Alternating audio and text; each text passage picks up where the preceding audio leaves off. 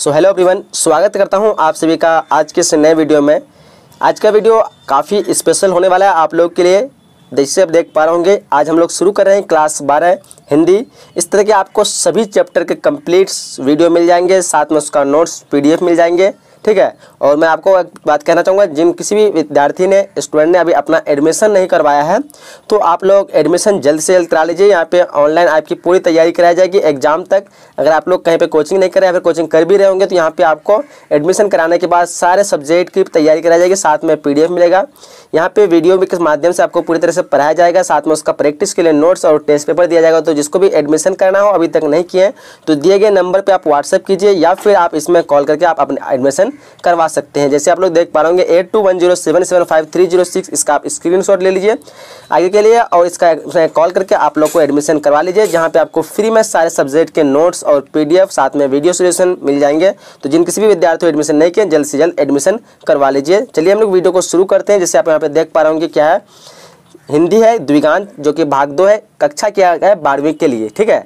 अध्याय यह कौन सा पढ़ रहे हैं हम लोग? चैप्टर वन पढ़ने वाले हैं, जिसके जो है, लेखक कौन है? रचिता है बालकृष्ण भट्ट, ठीक है? चैप्टर का नाम क्या है? तो चैप्टर का नाम है बातचीत। यहाँ से जितने भी क्वेश्चन बनेंगे, सारे क्वेश्चन को हम लोग कंप्लीट सोल्यूशन आज करने वाले हैं। सो इस वीडियो को जिस किसी को ये पीडीएफ चाहिए या फिर इसका प्रैक्टिस करना चाहते हैं ऑनलाइन टेस्ट देना चाहते हैं तो वीडियो के डिस्क्रिप्शन बॉक्स में आपको एक लिंक मिलेगा, ठीक है? उस लिंक के ज़रिए से आप लोग उसको पीडीएफ के रूप में डाउनलोड कर सकते हैं। साथ में आप अपना स्टडी वहाँ से ऑनलाइन कर सकते हैं, जहाँ से आप इसका वीडियो देखने के बाद आप प्रैक्टिस करेंगे तो आपसे अपने अंदर में फील होगा कि हम कितने क्वेश्चन हमको याद है, ठीक है?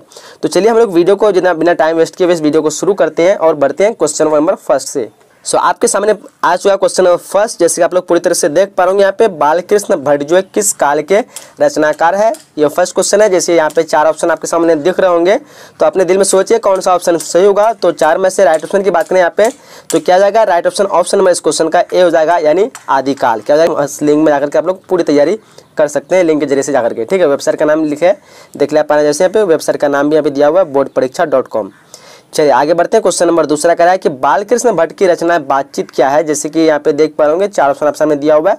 एकांकी है, कहानी है, यात्रा स्मरण है यात्रा संस्मरण है, और जो है, यहाँ पे ललित निबंध है। तो यहाँ पे चार ऑप्शन में से राइट ऑप्शन किया जाएगा तो ऑप्शन नंबर इस क्वेश्चन का डी हो जाएगी।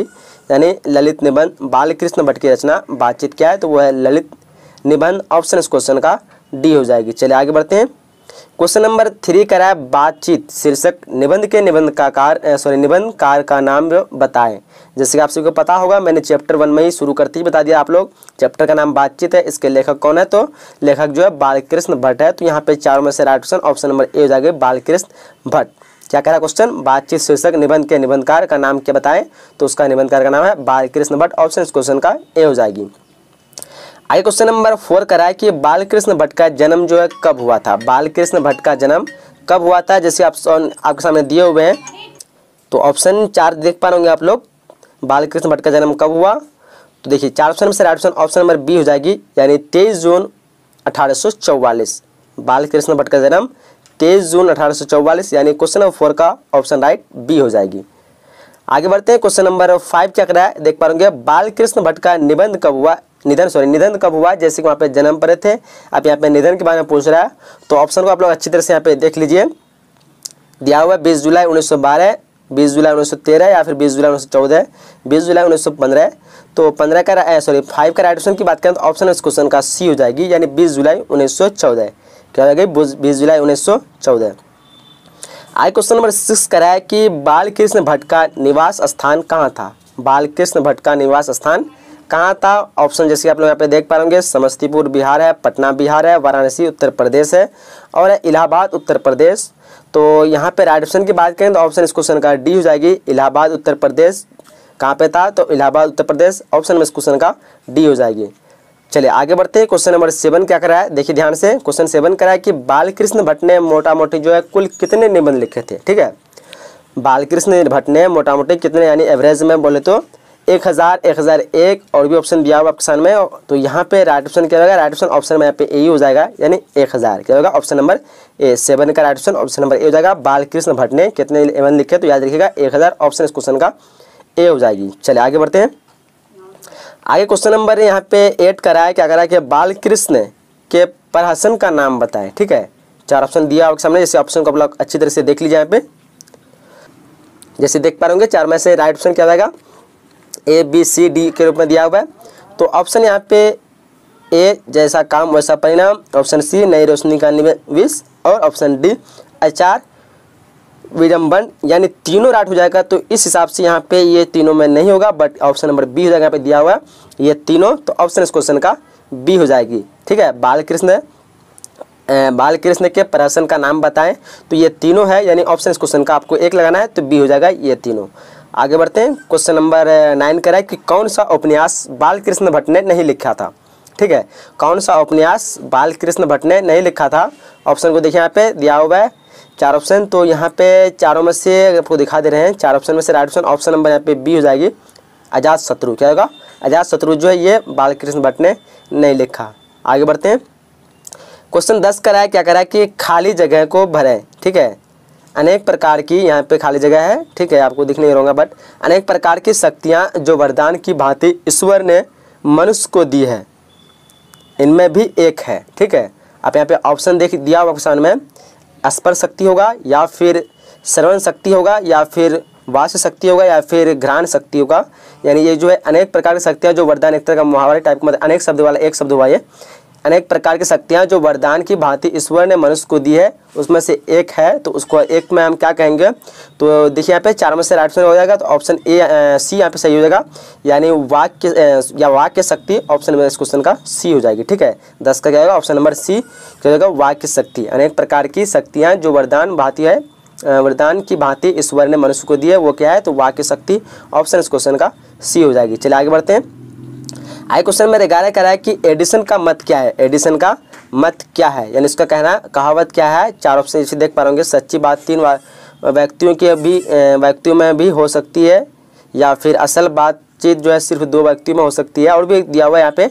तो राइट ऑप्शन की बात करेंगे तो उसके अनुसार अकॉर्डिंग बोले तो बी ऑप्शन राइट हो जाएगा। असल बातचीत सिर्फ़ दो व्यक्तियों में हो सकती है। किसके अकॉर्डिंग तो यहाँ पे दिया हुआ किसमें एडिशन के मत का। यानी एडिशन का कहना है कि असल बातचीत जो सिर्फ़ दो व्यक्तियों में हो सकती है। चलिए, यहाँ पे जो है हम लोग क्वेश्चन ग्यारह कंप्लीट कर चुके हैं, बारह क्वेश्चन आ चुका आप सामने देख पाएँगे। बातचीत शीर्षक निबंध जो है किस विधा की रचना है? बातचीत शीर्षक निबंध जो है किस विधा की रचना है? ऑप्शन देख पा रहे निबंध है, आलोचना है रेखा चित्र है और शब्द चित्र है। तो देखिए यहाँ पे चार ऑप्शन दिया आपको सामने ऑप्शन ऑप्शन नंबर ए हो जाएगा, यानी निबंध, ठीक है? द्विगांत हिंदी, भाग दो, कक्षा बारह। अध्याय चैप्टर नंबर टू इस चैप्टर से जितने भी क्वेश्चन बनेंगे, मैं पूरी तरह से आप लोग को समझाने की कोशिश करूँगा, सारे क्वेश्चन को कंप्लीट करने की कोशिश करूँगा। सो वीडियो को आप लोग ध्यान से देखिए, कोई भी क्वेश्चन आप लोग मिस नहीं करना, क्योंकि ये बोर्ड एग्ज़ाम की दृष्टि से काफ़ी महत्वपूर्ण है, सभी क्वेश्चन इंपॉर्टेंट है। यहाँ पे जो हम लोग कवर करने वाले हैं, उसने कहा था, ये जो है चैप्टर का नाम है, इसके रचयिता की बात करें तो चंद्रधर शर्मा गुलेरी, इसके रचयिता है। यहाँ पे जो है चैप्टर टू को कंप्लीट करना, जो कि स्पेशली बिहार बोर्ड के लिए है। तो चलिए क्वेश्चन को हम लोग शुरू करते हैं। सो यहाँ पे क्वेश्चन आपके सामने आ चुका है, देख पा रहे उसने कहा था कहानी के नायक है। देखिए, चार ऑप्शन आपके सामने दिया हुआ है। उसने कहा था, कहानी के नायक कौन है? तो यहाँ पे राइट ऑप्शन की बात करेंगे तो ऑप्शन नंबर इस क्वेश्चन का ए हो जाएगा, यानी लहना सिंह। क्या जाएगा? ऑप्शन नंबर ए, लहना सिंह। उसने कहा था, कहानी के नायक, लहना सिंह, ऑप्शन ए राइट हो जाएगी। आगे बढ़ते हैं, क्वेश्चन नंबर दूसरा करा है। उसने कहा था, किस प्रकार की कहानी है? उसने कहा था, किस प्रकार की कहानी है? ऑप्शन को देखिए ध्यान से। दिया हुआ चार, आपके सामने चार ऑप्शन। और यहाँ पे राइट ऑप्शन की बात करेंगे तो ऑप्शन क्वेश्चन का ए हो जाएगा, यानी चरित्र प्रमाण। क्या होगा? ऑप्शन नंबर ए चरित्र प्रमाण। उसने कहा था, किस प्रकार की कहानी है? चरित्र प्रमाण। चलिए आगे बढ़ते हैं। आगे क्वेश्चन नंबर थ्री करा है कि उसने कहा था, कहानी में किस शहर का चित्रण है? उसने कहा था, कहानी में किस शहर का चित्रण है? देख पा रहे होंगे, चार ऑप्शन आप सामने दिए हुए हैं। सो राइट ऑप्शन की बात करेंगे तो राइट ऑप्शन ऑप्शन इस क्वेश्चन का सी हो जाएगी, यानी लखनऊ। उसने कहा था कहानी में किस शहर का चित्रण है? तो राइट होगा लखनऊ, यानी ऑप्शन इस क्वेश्चन का सी हो जाएगा सॉरी यहाँ पे सी अमृतसर हो जाएगा। यहाँ पे जो बोले में मिस्टेक हो गया। अमृतसर, उसने कहा था कहानी में किस शहर का चित्रण है? तो अमृतसर ऑप्शन इस क्वेश्चन का सी हो जाएगी। चलिए आगे बढ़ते हैं। आगे क्वेश्चन नंबर फोर कह रहा है कि जर्मन जर्मन पटल को किसने मार गिराया? जर्मन पटल को किसने मार गिराया? ऑप्शन को अच्छी तरह से आप लोग यहाँ पे देख लीजिए। देख पा रहे ऑप्शन राइट ऑप्शन बात करें ऑप्शन में इस क्वेश्चन का बी हो जाएगी यानी लहना सिंह क्या होगा ऑप्शन नंबर बी लहना सिंह आगे बढ़ते हैं आगे क्वेश्चन नंबर फाइव करा है उसने कहा था जो है किस वर्ष की रचना है उसने कहा था ये जो रचना है वो किस वर्ष की है ऑप्शन को देखिए 1920, 1915, 1922 या फिर 1925 क्या हो जाएगा ऑप्शन ऑप्शन बी हो जाएगा इसका यानी 1915 उसने कहा था किस वर्ष की रचना है 1915 आई क्वेश्चन नंबर सिक्स करा है देखिए ध्यान से क्या करा है कि चंद्र शर्मा चंद्रधर शर्मा गुलेरी का जन्म जो है कब हुआ था? चंद्रधर शर्मा गुलेरी का जन्म कब हुआ था? देखिए ऑप्शन को अच्छी तरह से। राइट ऑप्शन की बात करेंगे तो ऑप्शन इस क्वेश्चन का ए हो जाएगा, यानी सात जुलाई अठारह तिरासी। सात जुलाई अठारह तिरासी। चलिए आगे बढ़ते हैं। आई क्वेश्चन नंबर सेवन कराए चंद्रधर शर्मा गुलेरी का निधन जो है कब हुआ था? चंद्रधर शर्मा गुलेरी का निधन कब हुआ था? ऑप्शन जैसे हमने दिया हुआ, आप सामने चार ऑप्शन देख पा रहे होंगे। ऑप्शन को अच्छी तरह रीड कर लीजिए। राइट ऑप्शन की बात करेंगे तो राइट ऑप्शन क्या होगा? इस क्वेश्चन का ऑप्शन बी हो जाएगा, यानी 22 सितंबर 1922 सॉरी 12 सितंबर 1922 चंद्रधर शर्मा गुलेरी का निधन 12 सितंबर 1922 ईस्वी को हुआ था। आगे बढ़ते हैं, क्वेश्चन नंबर एट करा चंद्रधर शर्मा गुलेरी का जन्म जो है कहाँ हुआ था? चंद्रधर शर्मा गुलेरी का जन्म कहाँ हुआ था? ऑप्शन दिया हुआ आपके सामने चार। तो राइट ऑप्शन की बात करेंगे तो राइट ऑप्शन क्या होगा? ऑप्शन इस क्वेश्चन का सी हो जाएगी, यानी जयपुर। क्या होगा? ऑप्शन नंबर सी जयपुर, जो कि राजस्थान में पड़ता है। आगे क्वेश्चन नंबर नाइन करा है, क्या करा है? देखिए, चंद्रधर शर्मा गुलेरी का मूल निवास स्थान कहाँ था? चंद्रधर शर्मा गुलेरी का मूल निवास स्थान कहाँ था? ऑप्शन देखिए पे, लहमी, वाराणसी, उसके बाद है कदमुआ कदमुका सॉरी कदम कुआँ जो कि पटना में है। और आगे नीचे में देखिए चार ऑप्शन दिया हुआ है। सिमरिया, बेगूसराय, बिहार और उसके बाद है Guler Kangra Himachal Pradesh. Right option option number D हो जाएगा, यानी गुलेर कंगरा हिमाचल प्रदेश। गुलेर, कांगड़ा, हिमाचल प्रदेश। आगे बढ़ते हैं क्वेश्चन नंबर दस करा कि गुलेरी जी की प्रमुख कहानियाँ का नाम बताएँ। गुलेरी जी की प्रमुख कहानियाँ का नाम क्या है? देखिए ध्यान से, चार ऑप्शन आप सामने दिए हुए हैं। सो राइट ऑप्शन की बात करें ऑप्शन इस क्वेश्चन का डी हो जाएगी, यानी उपयुक्त तीनों। ए बी और सी यहाँ पे क्या होगा? ऑप्शन नंबर इस क्वेश्चन का डी हो जाएगी। क्वेश्चन नंबर ग्यारह कराया कि गुलेरी जी के प्रमुख निबंधों के नाम बताएँ। गुलेरी जी के प्रमुख निबंधों के नाम क्या है? तो ऑप्शन को देखिए यहाँ पे। चार ऑप्शन आप सामने दिए हुए हैं। सो राइट ऑप्शन की बात करेंगे तो राइट ऑप्शन ऑप्शन इस क्वेश्चन का डी हो जाएगी। यानी उपयुक्त सभी। क्या होगा? ऑप्शन नंबर डी उपयुक्त सभी। आई क्वेश्चन नंबर तेरह कह रहा है क्या देखिए, किस पाठ में यह उक्ति आई है कि मृत्यु के कुछ समय पहले सुमृति बहुत जो है साफ़ हो जाती है। मृत्यु किस पार्ट में आया है कि उक्ति आया मतलब यह उक्ति आई है कि मृत्यु के कुछ समय पहले सुमृति जो है बहुत साफ़ हो जाती है। तो देखिए, चार ऑप्शन दिया ऑप्शन में। राइट ऑप्शन की बात करें ऑप्शन इस क्वेश्चन का ए हो जाएगा, यानी उसने कहा था। क्या होगा ऑप्शन नंबर ए उसने कहा था। क्वेश्चन नंबर चौदह कह रहा है कि गुलेरी जी ने किस पत्रिकाओं का जो है संपादन जो है किया? गुलेरी जी ने किस पत्रिकाओं का संपादन किया। देखिए ऑप्शन चार ऑप्शन दिया ऑप्शन में। सो राइट ऑप्शन की बात करें तो ऑप्शन इस क्वेश्चन का ए हो जाएगा। यानी समालोचक, काशी, नागरी, उसके बाद दिया हुआ प्रचारिणी, पत्रिका। चलिए, आगे बढ़ते हैं। क्वेश्चन नंबर यहाँ पे पंद्रह करा है। किन विषयों पर गुलेरी जी ने लेखन किया? किन विषयों पर गुलेरी जी ने लेखन किया? तो देखिए, चार ऑप्शन दिया ऑप्शन में। सो राइट ऑप्शन की बात करेंगे तो क्या होगा? ऑप्शन इस क्वेश्चन का डी हो जाएगा। यानी उपयुक्त तीनों। क्या होगा ऑप्शन नंबर डी उपयोग तीनों। आगे बढ़ते क्वेश्चन नंबर सिक्सटीन करा है, क्या करा है कि कुरमाई का क्या अर्थ होता है? कुरमाई का क्या अर्थ होता है? देखिए, चार ऑप्शन दिया ऑप्शन में। सो राइट ऑप्शन की बात करें ऑप्शन क्वेश्चन का ए हो जाएगा, यानी विवाह। क्या होगा? ऑप्शन नंबर ए विवाह। द्विगांत हिंदी, भाग दो, कक्षा बारह, जो कि चैप्टर नंबर थ्री है, जैसे आप लोग यहाँ पे देख पा रहे होंगे। इस चैप्टर से जितने भी क्वेश्चन इंपॉर्टेंट होंगे, मैं सारे क्वेश्चन को इस वीडियो में कंप्लीट करने की कोशिश करूँगा। सो वीडियो को आप लोग ध्यान से अंत तक देखिए। मैं उम्मीद करता हूँ कि इस वीडियो से आपको काफ़ी हेल्प मिलने वाला है। क्वेश्चन फ़र्स्ट क्या कर रहा है? यह उदाहरण किस पार्ट से लिया गया है? देखिए यहाँ पे। क्या उदाहरण है? आपको मैं दिखा दे रहा हूँ। यह है, अपना देश पिछड़ा हुआ है, बावजूद इसके कि हमने लोकतंत्र की स्थापना की है। ठीक है? ये उदाहरण किस पार्ट से लिया गया है? तो देखिए, चार ऑप्शन आप सामने दिए हुए हैं। संपूर्ण क्रांति है, उसके बाद सिपाही की माँ है और क्या कहते हैं, प्रगीत और समाज है तो ज़ाहिर सी बात हम लोग इस चैप्टर के बारे में पढ़े अगर नहीं भी पता होगा तो हम लोग ज़ाहिर टिक लगा सकते हैं, संपूर्ण क्रांति यहाँ पे। ऑप्शन इस क्वेश्चन का ए राइट हो जाएगा। चलिए आगे बढ़ते हैं।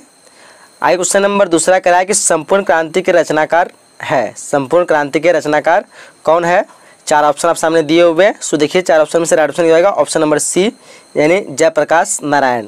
जैसे कि मैं बता दिया हूँ, शुरू में ही संपूर्ण क्रांति के रचनाकार कौन है? तो जयप्रकाश नारायण ऑप्शन क्वेश्चन का सी हो जाएगी। क्या हो जाएगी? ऑप्शन नंबर सी आगे बढ़ते हैं। आई क्वेश्चन नंबर थ्री कह रहा है, जयप्रकाश नारायण को किसका दलाल कहा गया है?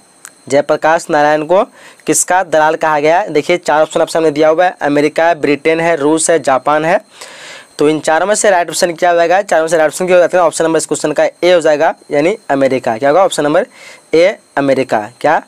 अमेरिका हो जाएगा। चलिए आगे बढ़ते हैं। क्वेश्चन नंबर फोर करा है, जयप्रकाश नारायण के बचपन का नाम क्या था? जयप्रकाश नारायण के बचपन का नाम क्या था? ऑप्शन को अच्छी तरह से आप लोग यहाँ पे देख लीजिए एक बार। अनंत दिया हुआ, अभिमन्यु है, राहुल है और बाउल है। तो यहाँ पे राइट ऑप्शन की बात करें तो ऑप्शन इस क्वेश्चन का डी हो जाएगी, यानी बाउल। क्या होगा? Option number D bowl. चलिए आगे बढ़ते हैं। आगे क्वेश्चन नंबर फाइव करा है कि जयप्रकाश नारायण का जन्म जो है कब हुआ था? जयप्रकाश नारायण का जन्म कब हुआ था? ऑप्शन देख पा रहे होंगे यहाँ पे ग्यारह अक्टूबर 1902 है। यहाँ पे ऑप्शन आ गया बारह अक्टूबर 1903 तेरह अक्टूबर 1904 या फिर चौदह अक्टूबर 1905 तो देखिए, चार में से राइट ऑप्शन की बात करेंगे तो right option option number A हो जाएगा, यानी ग्यारह अक्टूबर 1902 यानी इस क्वेश्चन का ऑप्शन ए हो जाएगा। जयप्रकाश नारायण का जन्म कब हुआ ग्यारह अक्टूबर 1902 को। चलिए, आगे बढ़ते हैं। क्वेश्चन नंबर सिक्स कराया जयप्रकाश नारायण का जो निधन जो है, कब हुआ था? जयप्रकाश नारायण का निधन कब हुआ था? चार ऑप्शन आपके नीचे में दिया हुआ है, देख पा रहे होंगे। यहाँ पे भी ऑप्शन थोड़ा मिस्टेक हो चुका है, इधर आ चुका है। देख पा रहे होंगे कि सात अक्टूबर उन्नीस सौ अठहत्तर है, आठ अक्टूबर उन्नीस सौ उनासी है, नौ अक्टूबर उन्नीस सौ अस्सी है, फिर क्या है? दस अक्टूबर उन्नीस तो इन चारों में से राइट ऑप्शन की बात करेंगे तो right option option number B हो जाएगी, यानी आठ अक्टूबर उन्नीस सौ उनासी। क्या हो जाएगा? आठ अक्टूबर उन्नीस उनासी। आगे बढ़ते हैं, क्वेश्चन नंबर सेवन क्या करा है? देखिए, ध्यान से करा कि जयप्रकाश नारायण का जन्म स्थान कहाँ है? जयप्रकाश नारायण का जन्म स्थान कहाँ है? चार ऑप्शन दिया ऑप्शन में देख पा रहे इलाहाबाद, उत्तर प्रदेश, इटारसी, मध्य प्रदेश और भी यहाँ पे चार ऑप्शन दिया हुआ है तो आप लोग अच्छी तरह से देख लीजिए। तो राइट ऑप्शन की बात करेंगे तो राइट ऑप्शन ऑप्शन इस क्वेश्चन का सी हो जाएगा। यानी सीताब दियारा, जो कि उत्तर प्रदेश में पड़ता है, कहाँ पे? उत्तर प्रदेश के बालिया और बिहार के सारण ज़िले में फैला हुआ है। तो कहाँ पे आंसर उसका जाएगा? सीताब दियारा, इसका जन्म मतलब सीताब दियारा जो है, वो उसका जन्म स्थल है किसका? देख पाऊँगा, जयप्रकाश नारायण का। आगे बढ़ते हैं क्वेश्चन नंबर यहाँ पे कितना हम लोग कंप्लीट कर चुके हैं? क्वेश्चन सेवन कंप्लीट हो चुका है। आगे क्वेश्चन नंबर एट करा कि जयप्रकाश नारायण को लोग क्या कहने लगे? जयप्रकाश नारायण को लोग जो है क्या कहने लगे?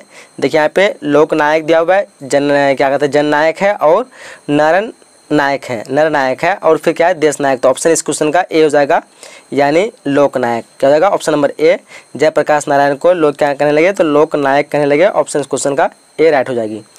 आगे बढ़ते क्वेश्चन नंबर नाइन क्या करा है कि बिहार के छात्र आंदोलन का जेपी ने कब नेतृत्व किया? देखिए यहाँ पे बिहार के छात्र आंदोलन का यहाँ पे जेपी नहीं होगा, बीचे बीजेपी होगा, यहाँ पे बी छूट गया होगा। बिहार के छात्र आंदोलन का बीजेपी ने कब नेतृत्व किया? तो देखिए, यहाँ पे चार ऑप्शन आप सामने दिया हुआ है। सो राइट ऑप्शन की बात करें तो right option option number B हो जाएगी यहाँ पे, यानी उन्नीस सौ चौहत्तर। क्या होगा? ऑप्शन नंबर बी, उन्नीस सौ चौहत्तर। बिहार के छात्र आंदोलन का बीजेपी ने कब नेतृत्व किया? तो उन्नीस सौ चौहत्तर, ऑप्शन इस क्वेश्चन का बी हो जाएगी। चलिए, आगे बढ़ते हैं। आगे क्वेश्चन नंबर यहाँ पे दसवां आ चुका है, देख पा रहे होंगे क्या कह रहा है कि recon reconstruction of Indian polity पुस्तक किसने लिखी? ये जो पुस्तक है, ये पुस्तक किसने लिखी? कौन पुस्तक? तो रिकन्स्ट्रक्शन ऑफ़ इंडियन पॉलिटी ये पुस्तक जो है किसके द्वारा लिखी गई? देखिए, चार ऑप्शन आप सामने दिए हुए हैं। महात्मा गांधी है, जवाहरलाल नेहरू, जयप्रकाश नारायण और फिर क्या है? लोकमान्य तिलक। तो यहाँ पे ज़ाहिर सी बात है, हम लोग जयप्रकाश नारायण के बारे में चैप्टर में रहे हैं तो उसी की बात हो जाएगी यहाँ पे ऑप्शन इस क्वेश्चन का सी हो जाएगी जयप्रकाश नारायण। आगे बढ़ते हैं क्वेश्चन नंबर ग्यारह क्या कह रहा है कि जयप्रकाश नारायण को कौन सा पुरस्कार मिला था? जयप्रकाश नारायण को कौन सा पुरस्कार मिला था? देखिए यहाँ पे राजेंद्र राजेंद्र प्रसाद शिखर सम्मान या फिर साहित्य अकादमी पुरस्कार, भारतीय ज्ञानपीठक पुरस्कार या फिर मैक्सेस सम्मान एवं भारत रत्न। तो राइट ऑप्शन की बात करें तो ऑप्शन इस क्वेश्चन का क्या हो जाएगा? डी हो जाएगी, यानी मैक्सेस सम्मान एवं भारत रत्न। आगे बढ़ते हैं क्वेश्चन नंबर तेरह क्या करा है कि किस पार्ट में आया है? अगर कोई डेमोक्रेसी का दुश्मन है तो वह तो ये क्या कहते हैं तो वो लोग दुश्मन है जो जनता के शांतिमय कर्म सॉरी कार्यक्रमों में बाधा डालते हैं, इनकी गिरफ्तारियाँ करते हैं। उन पर लाठी चलाते हैं, उसके बाद क्या है, गोलियाँ चलाते हैं। ये किस पार्ट में आया है? तो देखिए यहाँ पे ज़ाहिर सी बात है, हम लोग कौन से पार्ट पढ़ रहे हैं? संपूर्ण क्रांति के बारे में तो नहीं भी बताओगे तो आप अंदाज़ा टिक मार सकते हैं। राइट ऑप्शन इस क्वेश्चन का क्या होगी बी हो जाएगी, यानी संपूर्ण क्रांति। क्या होगा? ऑप्शन नंबर बी, संपूर्ण क्रांति। तो यहाँ से जितने भी क्वेश्चन इंपोर्टेंट थे, और भी एक क्वेश्चन है, दिखा दे रहा हूँ भी। चौदह में क्वेश्चन कह रहे हैं, विद्यार्थी और राजनीति निबंध जो है किसका लिखा हुआ है? विद्यार्थी और राजनीति निबंध जो है किसका लिखा हुआ है? देखिए, चार ऑप्शन आप सामने दिया हुआ है। भगत सिंह दिया हुआ है, बालकृष्ण भट्ट है और नीचे में भी दो ऑप्शन है। चंद्रशेखर शर्मा गुलेरी और जयप्रकाश नारायण। तो ज़ाहिर से हम लोग जयप्रकाश नारायण का पढ़ रहे हैं यहाँ पे। तो ऑप्शन इस क्वेश्चन का डी हो जाएगी, जयप्रकाश नारायण, ठीक है? द्विगांत हिंदी, भाग दो, कक्षा बारह अध्याय चैप्टर नंबर फोर इससे पहले हम लोग जितने भी चैप्टर थे कवर कर चुके हैं। और इस चौथे पार्ट में जो हम पढ़ेंगे अर्धनी अर्धनारीश्वर के बारे में, जो कि इसके रचिता जो है रामधारी सिंह दिनकर है। क्या है इस चैप्टर में सारे क्वेश्चन को हम लोग इंपोर्टेंट क्वेश्चन कवर करेंगे, जो कि आपके बोर्ड एग्ज़ाम की दृष्टि से काफ़ी महत्वपूर्ण होगा। देखिए, पहला क्वेश्चन कह रहा है यहाँ पे देख पा रहे किस रचनाकार की पंक्ति है? क्या पंक्ति है? नारी स्वप्न है, नारी सुगंध है, नारी पुरुष की वहाँ पर झूलती हुई जूही की, आगे में क्या है? जूही की माला है। अब बताइए यहाँ पे, चार ऑप्शन आप सामने दिया हुआ है, प्रेमचंद्र है मोहन रामेश है और यहाँ पे और दो, चार दो ऑप्शन दिया हुआ है। तो चारों में से राइट ऑप्शन की बात करेंगे तो राइट ऑप्शन ऑप्शन नंबर यहाँ पे डी हो जाएगी, यानी रामधारी सिंह दिनकर की, जिसके बारे में लोग पढ़ रहे हैं। तो ज़ाहिर सी बात है जिसको अगर नहीं भी पता होगा तो अंदाज से भी कह सकते हैं रामधारी सिंह दिनकर, यहाँ पे ऑप्शन नंबर इस क्वेश्चन का डी हो जाएगी, ठीक है? चलिए आगे बढ़ते हैं। इसी तरह आपको ऑनलाइन टेस्ट में मिलेगा, जहाँ पे आप जान पाएँगे कौन सा ऑप्शन सही है, ठीक है? देखिए यहाँ पे चार ऑप्शन आप सामने दिया हुआ है। पहले क्वेश्चन देख लीजिए कि ज्ञान पीठक पुरस्कार से सम्मानित रचना है। ज्ञान पीठ पुरस्कार से सम्मानित रचना कौन सा देखिए यहाँ पे? उर्वशी है, रेणुका है, उसके बाद कुरुक्षेत्र है, इनमें से कोई नहीं, चार ऑप्शन आप सामने दिया हुआ है। सो इन चार में से राइट ऑप्शन क्या होगा? अब जैसे नीचे में आएँगे तो नीचे में आप आंसर की दिख रहे हैं, जैसे आंसर में क्लिक करेंगे आंसर दिखा देगा। तो अभी इसका आंसर क्या होगा? ऑप्शन नंबर ए यानी उर्वशी। क्या होगा? Option number A Urvashi. चलिए आगे बढ़ते हैं क्वेश्चन नंबर थ्री करा, देखिए। कह कि युद्ध और शांति की समस्या पर लिखी गई काव्य कृति है। युद्ध और शांति की समस्या पर लिखी गई जो काव्य कृति है, वो कौन सी है? इन चारों में से राइट ऑप्शन क्या हो जाएगी? देखिए ऑप्शन को आप लोग अच्छी तरह से तो देखिए, यहाँ पे क्या हो जाएगा? चार में से राइट ऑप्शन ऑप्शन नंबर यहाँ पे ए हो जाएगी, यानी कुरुक्षेत्र क्या होगा? ऑप्शन नंबर ए कुरुक्षेत्र है। युद्ध और शांति की समस्या पर लिखी गई काव्य कृति क्या है?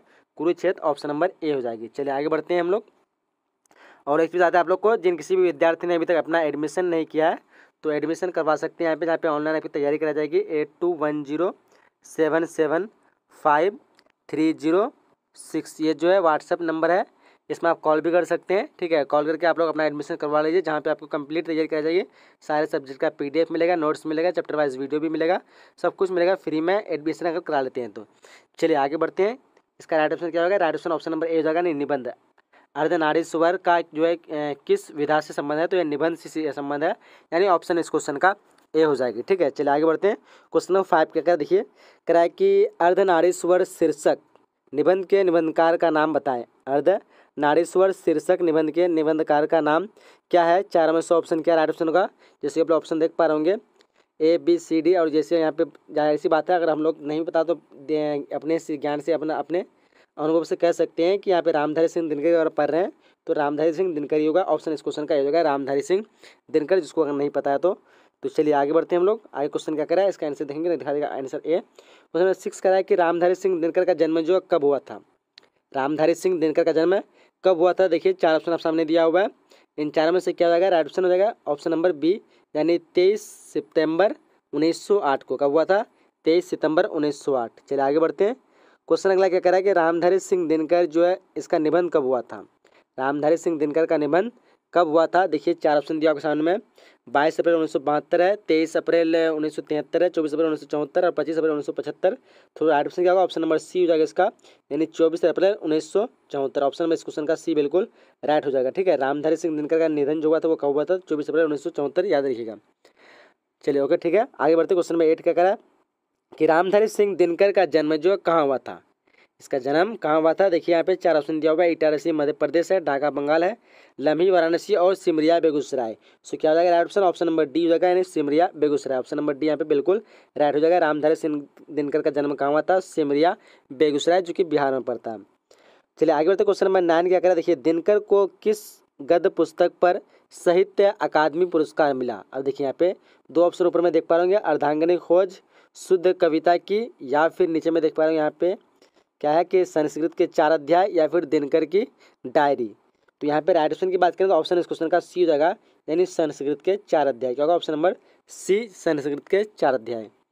आगे बढ़ते हैं हम लोग। आगे क्वेश्चन नंबर दस करा कि दिनकर को किस दिनकर को जो कौन सा पुरस्कार मिला था? दिनकर को जो है वो कौन सा पुरस्कार मिला था? देखिए, चार ऑप्शन आप सामने दिया हुआ है। तो इनमें से राइट ऑप्शन की बात करेंगे तो ऑप्शन नंबर क्या हो जाएगा? ए हो जाएगा, यानी पन क्या कहते हैं? पद्य पद्म भूषण। क्या हो जाएगा यहाँ पे? पद्म भूषण। चलिए आगे बढ़ते हैं। क्वेश्चन नंबर यहाँ पे ग्यारह करा कि दिनकर की कविता कौन सा गुण नहीं था? दिनकर की कविता का कौन सा गुण नहीं था? ओज गुण है, उसके बाद मिस मिश्रणता है, उसके बाद है, मसृणता है, उसके बाद पौरुष है, और क्या यहाँ पे प्रभाव प्रभावपूर्ण वाग्मिता, ऑप्शन का ऑप्शन नंबर ए हो जाएगा, यानी मसूरनता चलिए आगे बढ़ते हैं। क्वेश्चन नंबर बारह कह रहा है, दिनकर जो है, किस युग के कवि थे? दिनकर जो है, किस युग के कवि थे? देखिए, चार ऑप्शन आप सामने दिया होगा। इन चारों में से क्या राइट ऑप्शन होगा, आप लोग दिमाग में सोचिए। राइट ऑप्शन की बात करें ऑप्शन में क्वेश्चन का सी हो जाएगा, यानी छायावाद उत्तर के। छायावाद उत्तर के जो है, दिनकर जो है, कवि थे। ठीक है ऑप्शन इस क्वेश्चन का सी हो जाएगी। आगे बढ़ते हैं हम लोग। क्वेश्चन नंबर तेरह क्या कह रहा है? कह रहा है कि कामिनी तो अपने साथ डैश की शांति लाती है। अब देखिए यहाँ पे खाली जगह को भरे। क्या हो जाएगा? यहाँ चार ऑप्शन आप सामने दिया हुआ है।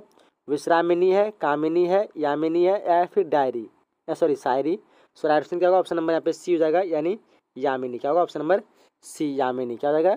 खाली जगह जगह यामिनी हो जाएगा। आगे बढ़ते क्वेश्चन नंबर फोर्टीन करा कि जिस पुरुष में नारित्व नहीं है, जिस पुरुष में नारित्व नहीं है, कोई क्या कहते हैं? पूर्ण या अपूर्ण, अधूरा या फिर अर्धपूर्ण। तो क्या हो जाएगा? ऑप्शन नंबर बी हो जाएगा, यानी अपूर्ण।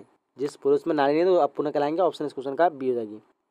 क्वेश्चन नंबर फाइव करा कि अर्धनारी स्वर का क्या अर्थ है? अर्धनारी स्वर जो है, इसका अर्थ क्या है? आधी आधी नारी, पूरी नारी, आधा पुरुष या फिर अर्धनारीश्वर शंकर और पर्वतीय काल्पनिक रूप है, जिसका आधा अंग पुरुष का और आधा अंग नारी का। तो ज़ाहिर सी बात आप लोग पढ़ेंगे तो पता होगा ऑप्शन इस क्वेश्चन का डी हो जाएगा अर्धनारीश्वर शंकर पर्वती का काल्पनिक रूप है, जिसका आधा अंग जो है पुरुष का है और आधा अंग नारी का होता है। आगे बढ़ते हैं हम लोग। क्वेश्चन नंबर यहाँ पे तो कंप्लीट हो चुका है और इस चैप्टर में हाँ इस चैप्टर में और नहीं है। सो आप लोगों को करना क्या है, अगर आप लोग लिंक के द्वारा आते हैं तो यहाँ पे जब कंप्लीट हो जाएगा तो नेक्स्ट चैप्टर वाला ऑप्शन देख पा रहा हूँ यहाँ पे। ये नेक्स्ट चैप्टर में आप लोग क्लिक करेंगे तो अगले चैप्टर में पहुँच जाएँगे। मैं अगले चैप्टर का वीडियो बहुत जल्दी अपलोड कर दूँगा तो आप लोग लिंक के द्वारा यहाँ पे डिस्क्रिप्शन जो लिंक दिया हुआ है, उसमें आएँगे। तो सारे चैप्टर का आप लोग प्रैक्टिस कर सकते हैं पहले से। और इस वीडियो को अभी तक आप लोग लाइक नहीं वीडियो को लाइक कर दीजिए, अपने दोस्तों के साथ शेयर कर दीजिए। मैं उम्मीद करता हूँ कि इस वीडियो से आपको काफ़ी हेल्प मिलने को मिला होगा। तो चलिए, यहीं तक वीडियो समाप्त करने वाले हैं। जो जो एडमिशन नहीं किया, जल्द से जल्द एडमिशन करवा लीजिए। मिलेंगे अगले नए वीडियो में, जब तक के लिए जय हिंद, जय Bharat and thanks for watching